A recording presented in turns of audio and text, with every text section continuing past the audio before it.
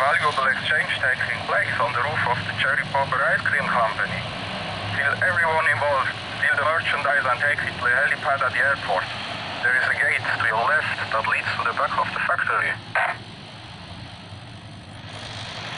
Eso es la